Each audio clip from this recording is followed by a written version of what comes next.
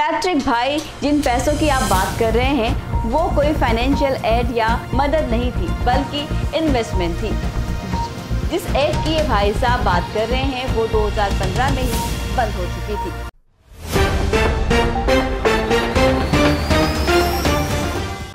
हमारे पैसे लौटाए जाए।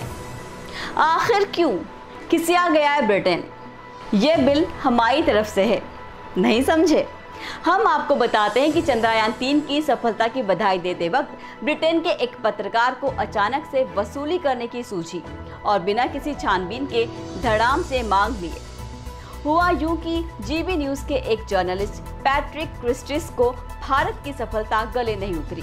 चंद्रयान तीन की बधाई देते हुए उन्होंने कहा कि अब जब भारत इतना लायक हो चुका है कि वो चाँद के साउथ पोल तक पहुँच चुका है तो उन्होंने ब्रिटेन से लिए हुए दो दशमलव तीन बिलियन डॉलर वापस कर देना चाहिए।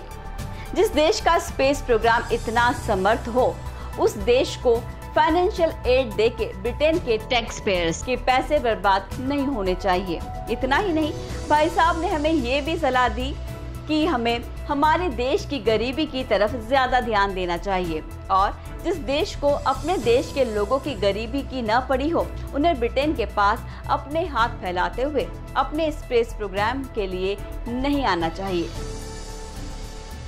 अब जब चोर कोतवाल को ही डांट रहा है तो उसे सही हिसाब समझाना ज़रूरी हो जाता है।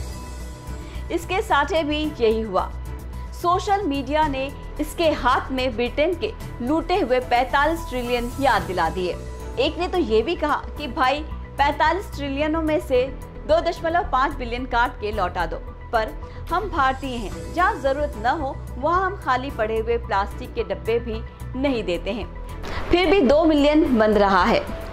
पैट्रिक भाई, जिन पैसों की आप बात कर रहे हैं, वो कोई फाइनेंशियल एड या मदद नहीं थी, बल्कि इन्वेस्टमेंट थी।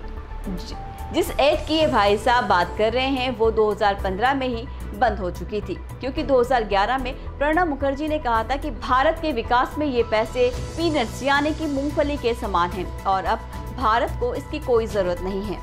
यहाँ तक कि 2011 में ही यूके की सरकार ने भी ये माना था कि इन पैसों का योगदान भारत के विकास में न के बराबर है।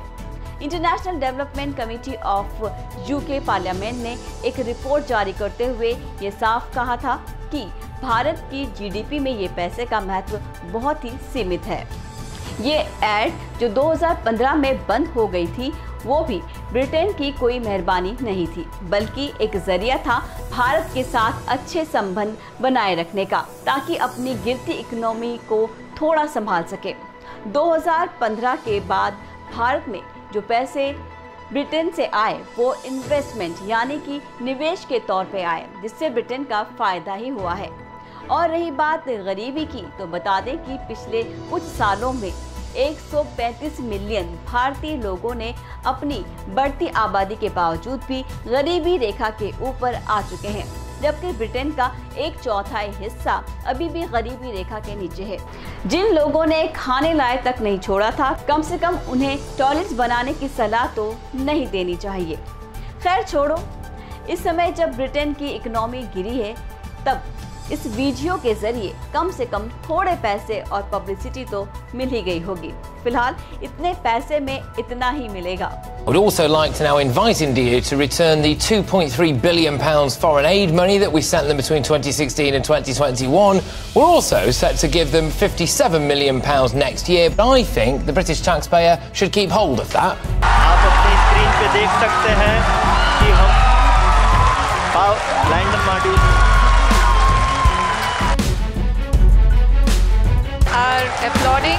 Let us all wait to hear from the Secretary Department of Space and Chairman. We should not be giving money to countries with a space program. As a rule, if you can afford to fire a rocket at the dark side of the moon, you shouldn't be coming to us with your hand out.